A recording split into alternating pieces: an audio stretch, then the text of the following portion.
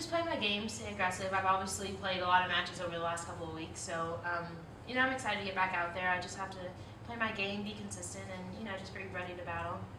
You know it feels good whenever um, the crowd gets behind you and they start cheering for you, and especially being in the states. You know they're very, very, very positive, and I think that helped me a little bit going to the third set. And then as the third set went on, they got a little bit more, you know, more excited, more excited, and you know at the end they were they were pretty loud, so it was good. I think it was very helpful.